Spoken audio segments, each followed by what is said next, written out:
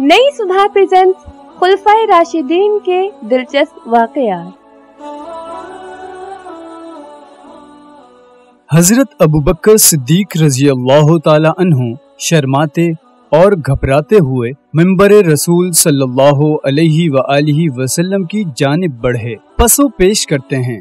फिर कुछ देर सोचने के बाद पहली सीढ़ी पर कदम रखा, फिर दूसरी सीढ़ी पर चढ़े, फिर तीसरी सीढ़ी पर पहुँचे तो कप कपाए वो अपने आप को हुजूर अकरम सल्लल्लाहु अलैहि वआलिहि वसल्लम के मकाम पर बैठने के काबिल नहीं समझ रहे थे।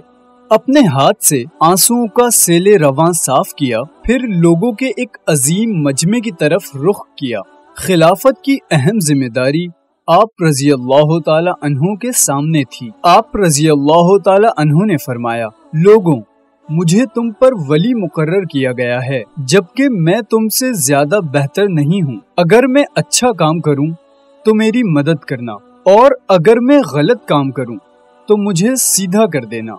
याद रखो, जो तुम में कमज़ोर है, वो मेरे नज़दीक ताकतवर है। यहाँ तक के मैं उसका हक वसूल कर लूँ। और जो तुम में ताकतवर है, वो मेरे नज़दीक कमज़ोर है यहाँ तक के, कि मैं उससे दूसरे का हक वसूल कर लूँ। तुम मेरी इतात करना जब तक मैं अल्लाह और उसके रसूल सल्लल्लाहु अलैहि वआलिहि वसल्लम की इतात करूँ। अगर मैं नाफरमानी करूँ तो तुम पर मेरी कोई इतात नहीं है अत तबकातुल कुबरा